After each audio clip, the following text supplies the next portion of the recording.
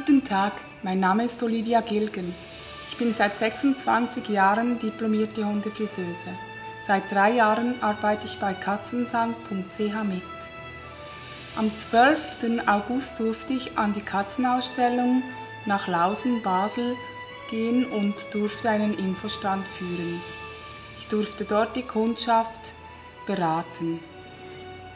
Ganz toll war es für mich, diese verschiedenen Katzen kennenzulernen, plus äh, ihre Geschichten, auch wie sie gezüchtet wurden etc.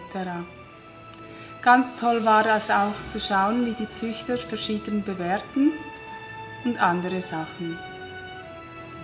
Interessante Gespräche durfte ich auch mit Katzensa äh, Katzenzüchtern haben, wo ich vieles gelernt habe. Was ich aber ganz toll fand, waren die Pflegeprodukte.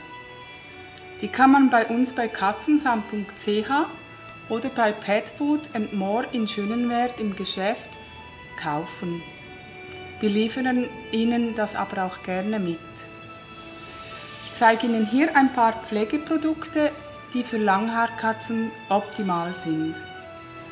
Zum Durchkämmen normal können Sie diese Bürste brauchen. Was wichtig ist, dass die Borsten nicht zu groß sind und die Bürste auch nicht zu breit. Wenn Sie die Katze kämen mit, einem breiten, mit einer breiten Bürste, ist es so, dass Sie in der Mitte zwar den Druck haben, aber auf der Seite nicht. Deshalb lieber eine kleine Bürste, wo Sie überall auf den Boden runterkommen. Zum Durchkämmen, ob eine Katze noch Knoten hat, können Sie so einen Kamm benutzen. Was ich an diesem Kamm liebe, sind diese Zacken und zwar drehen die sich mit. Was beim Kämmen auch nicht so zupft und deshalb die Katze auch besser hinhält. Um die Unterwolle herauszukämmen, können Sie so einen Unterwollkamm brauchen. Es gibt doppelreihige oder auch einreihige.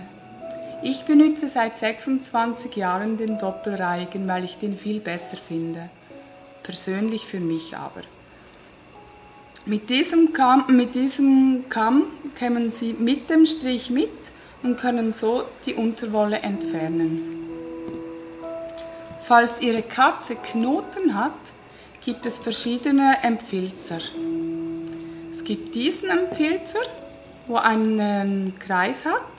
Da fahren Sie schön unter den Knoten und können es so rauskämmen. Bei dem längeren ist es so, dass er schön gerade ist. Man darf hier vorne aber nicht anfassen, weil es lauter Messer sind.